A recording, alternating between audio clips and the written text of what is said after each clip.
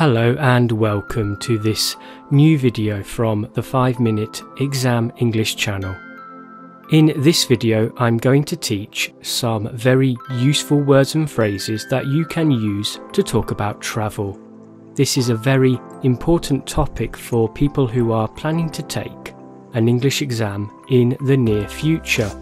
It's also a very interesting topic for everyday conversation so I hope you enjoy this video. First of all, I want to teach some basic words related to travel. When you go on a trip or a journey, it means that you travel from one place to another place.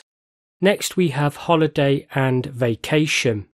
So these words mean the same thing a period of time when you travel away from your home for fun and relaxation. Holiday is the word that we generally use in British English.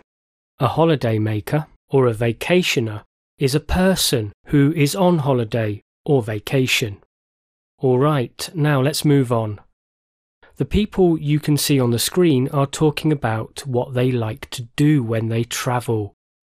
The couple here love cruises. A cruise is a journey on water, a fun and relaxing journey. Here we have an example of a liner, which is a very big ship that is made for holiday makers. The word voyage means a journey by sea or in space. It comes from the French word voyage. Here's a very good phrase to remember. Bask in the sun means sit or lie down and enjoy the heat. Me personally, I don't spend much time basking in the sun when I'm on holiday. A bit of sun is good for me. The woman here often goes on city breaks. A city break is when you spend two, three, or maybe four days in a new city. So, for example, if you spend a weekend in Paris, you can call that a city break in Paris. When we travel light, it means that we don't take many things with us when we travel. We just take one or two bags with important items. Get to know means spend time with someone or something so that you understand more about this person or thing. A very common mistake is when people say, for example, I want to visit China so I can know about its culture. Instead of that, we need to say, I want to visit China so I can get to know its culture. When we go camping, it means that we stay in a tent, such as this one.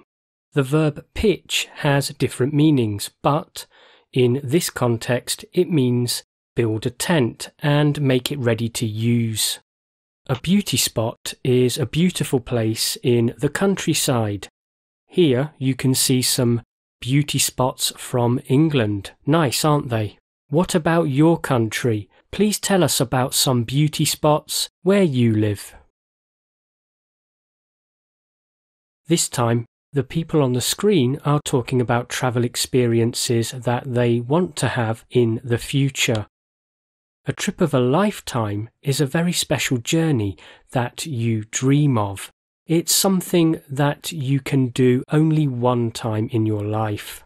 Here's a good phrase you can use when you want to talk about your dreams for the future.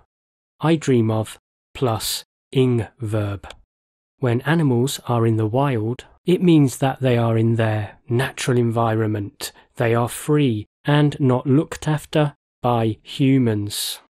Get up close and personal means that um, you become so physically near to somebody that you learn about their personality and understand how they behave. There's a good chance that you've already heard people talking about a bucket list. But what is it? What does it mean?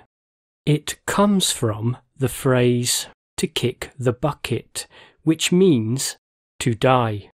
So a bucket list is um, a list of things that you want to do before you die. Moving on, we have a long haul flight, which means a long journey by aeroplane. Airline companies have different ideas about what long haul means. I would say that a flight of more than five hours is long haul. Out of my price range means that something is too expensive for me. I don't have enough money for it. A road trip is a long journey by car or van, not for work, but for fun. Set off is a great phrasal verb to remember. It means to begin a journey. The opposite of set off is arrive.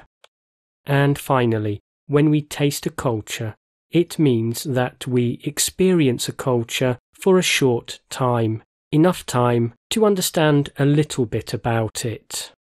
We've now come to the end of this video from the 5 Minute Exam English channel. I hope you enjoyed it.